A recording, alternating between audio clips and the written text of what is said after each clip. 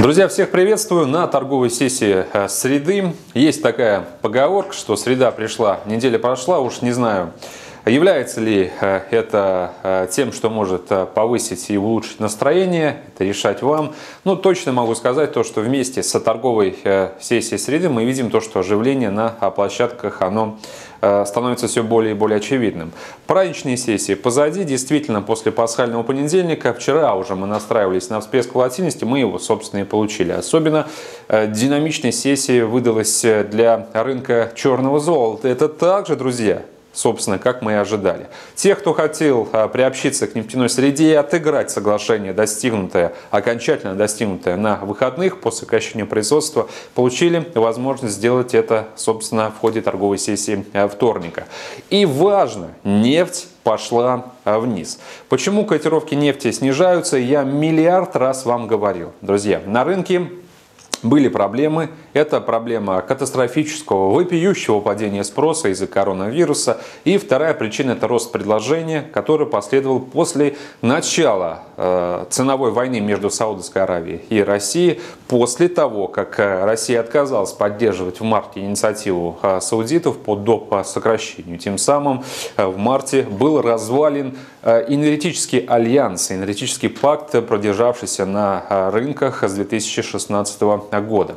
9,7 миллионов баррелей. Сокращение общее, согласованное. Должна была быть цифра в 10 миллионов, но Мексика не взяла в полном объеме ту квоту, которую ей отводили. 9,7 миллиона – это такая подачка для затравки рынку. Бросили ее.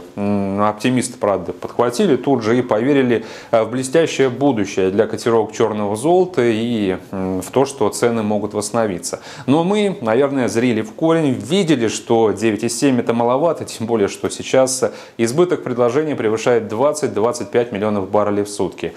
Э, не поверили в соглашение, в его достаточность для того, чтобы решить проблему избытка. Многие считают, что слишком поздно представители ОПЕК спохватились э, и решили вмешаться в ситуацию, потому что свободные мощности, где можно сейчас э, накапливать нефть, они э, фактически уже, их практически, друзья, нету. И я допускаю, что уже в июне нефть некуда будет девать.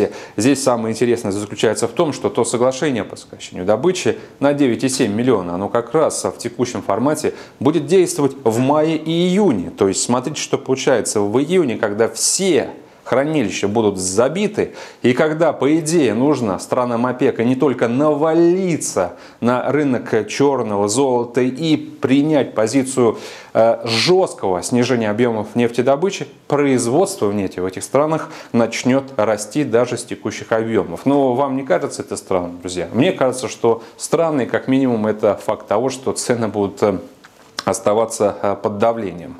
Goldman Sachs прогнозирует снижение э, бренда ниже 25 долларов за баррель. Я поддерживаю экспертов, аналитиков э, этого инвестбанка, потому что укладывается, опять же, такие ориентиры в именно русло моих рассуждений и моих ожиданий. Ценовая война, друзья, как вы помните, я только что о ней говорил, между Саудовской Аравией и Россией. Считается, что раз достигнуто новое соглашение, значит ценовой войны уже фактически нет. Но кто он сказал? Эм, в понедельник, точнее э, во вторник, э, Саудовская Аравия цинично сообщила о том, что э, снижает отпускные цены для азиатских партнеров. Ну, например, рынка очень важного, стратегического важного для России. И представляет этим партнерам беспрецедентнейшую скидку, с которой очень трудно будет ободаться, например, даже российским производителям. То есть, несмотря на достигнутый пакт, Саудовская Аравия все равно намекнула, да и, наверное, четко просигнализировала рынку, что по-прежнему ведет, э, находится в состоянии ценовой войны с Россией. На мой взгляд, это как минимум делает вообще само соглашение крайне хрупким предприятием. И при определенном изменении настроений, я думаю, что этот пакт по обязательствам начнет очень сильно меняться в любой момент. И я не удивлюсь, опять же, друзья, если через месяц-другой мы э, будем анализировать показатели того, того, сколько страны в итоге э, добывают добывали. Соотносить эти показатели с обязательствами и квотами и поймем, что есть не состыковки. Поэтому я не верю на текущем этапе восстановления цен. Я считаю, что бренд будет снижаться. Хорошо, что мы сейчас снижаемся. Цель, друзья, ближайшая – это закрепление ниже отметки 27 долларов за баррель по бренду. Сегодня в 17.30 выйдут данные по запасам. И надеюсь, что эта статистика надавит на котировки еще больше, потому что ожидается снова серьезнейший прирост больше, чем на 11 миллионов.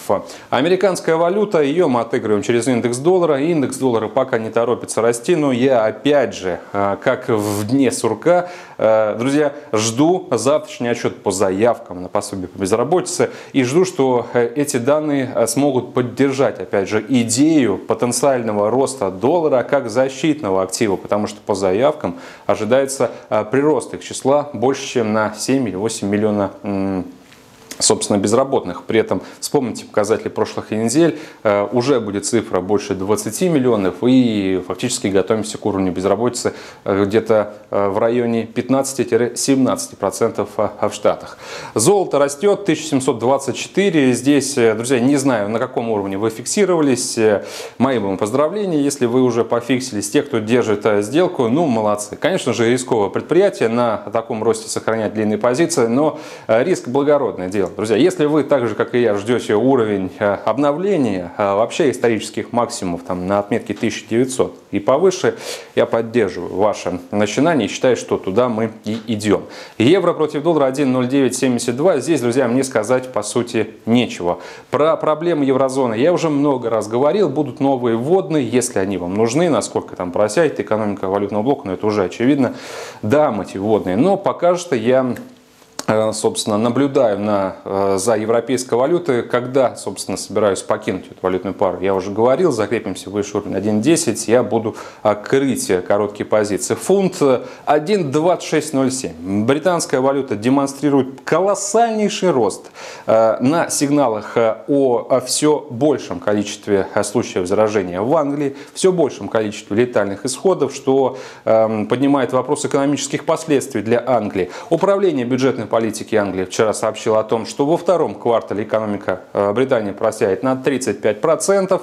И на всем этом фунт продолжает обновлять многонедельные максимумы. И фактически уже скоро окажется на тех значениях, которые были характерны э, для него, когда вообще не началась вся вот эта неразбериха вокруг коронавируса. Вам не кажется это странно? Ну, если нет, мне это кажется странно. Поэтому я э, ищу возможности для продаж. Считаю, что уровень, например, 1 24.80 это неплохая, опять же, отложка sell stop, э, которую можно использовать для э, перезахода в короткие позиции.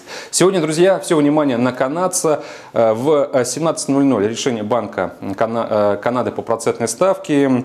Ставку не изменит, уверен, 0,25 также и останется. Программа количественного смягчения 5 миллиардов в неделю канадских долларов тоже без изменений. Но я делаю большой акцент на пересмотр прогнозов по экономическому росту, потому что канадский э, регулятор э, пока что единственный не сделал заявление о э, серьезном экономическом спаде, но ему придется это сделать, это неизбежно. Мне будет интересно послушать их точку зрения о том, насколько просядет экономика во втором квартале, что они ожидают до конца, в принципе, 2020 года.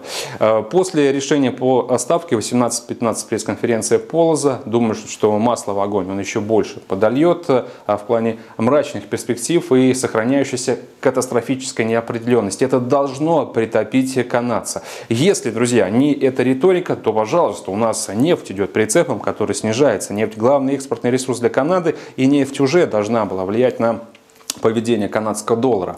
Поэтому то, что мы видели уровень 1.3850, э, мне кажется, ниже мы, скорее всего, уже не сходим, но если только нефть вырастет каким-то космическим уровнем, что я сейчас даже не допускаю. Поэтому, э, друзья, 1.3902 это хорошая точка для захода в длинные позиции э, с целью на отметке 1.4345.